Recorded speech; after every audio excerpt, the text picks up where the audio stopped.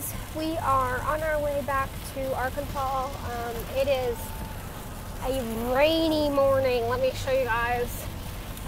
Um, it is just absolutely like torrential rain. Um, and it's supposed to be that for part of Ohio, not all of it. Hi, Yadi. Um, but yeah, we had much better weather on the way on the way up here. Um, I am drenched. I should be dry by the time we make it back to Arkansas in 10 hours. Um, but looking forward to getting home and seeing the dogs tomorrow and um, yeah, just being back in my own space because I like being in home. So, um, so I'll keep you guys updated as we head home. And of course, it's always more interesting when you're traveling with a dog, right? You look, you look sad. And um, yeah, so hope you guys have a great day, and I'll see you guys in a little while. Guys, we had just barely gotten underway, like maybe driven for 20, 30 minutes, and we are now stuck in traffic that is even worse. We've gone 14 miles, and we are now stuck in torrential, horrible traffic. So yeah, I looked on Google Maps and it looks like this thing goes on for a while, so it's to be kind of interesting. Right now our ETA is 7:57. I don't even know how much time we're to lose, but gotta love traffic.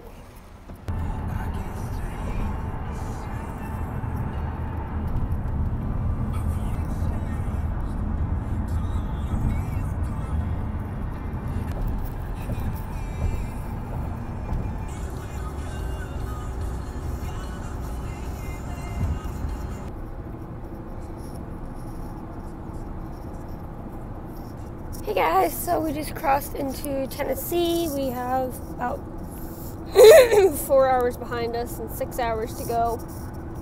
Um, I want to know what is the longest car trip that you guys have ever been on. I the longest for me was definitely when we went from Arkansas to Canada. That was 36 hours. We split it up into three days on the way there um, and three days on the way back. Um, so yeah, that was definitely the second longest would be when we went to Arizona, which was like 21 hours, I think. So I'd be curious to know what is the longest car trip you guys have ever been on, and um, do you prefer do you prefer car trips or flying? Because I prefer car trips because I am petrified of airplanes. I yeah, me and airplanes don't get along. So um, we're gonna find a place to get some lunch here in Tennessee, and it's exciting because Tennessee's a long state, but the next state after that is Arkansas. So it's like you're almost there. So I'll see you guys in a little while. Hey guys, so we just crossed into Arkansas. Finally, that's a lot of birds. Oh my. Um, so we are finally in Arkansas. We've got about two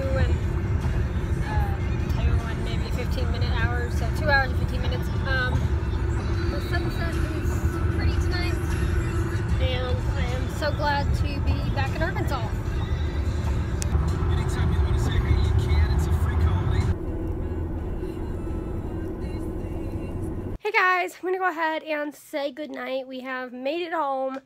Um, I am going to eat some dinner, do my treatment, and then collapse from exhaustion into bed. um, it was definitely a more eventful trip on the way back. We ran into a lot more traffic, but um, it is good to be home. Tomorrow we go and pick up the dogs, and I'm super excited to see them again. And uh, for tonight, I think I just need a good night's sleep. So thank you guys so much for coming along on my day today, and I'll see you guys tomorrow. Good night.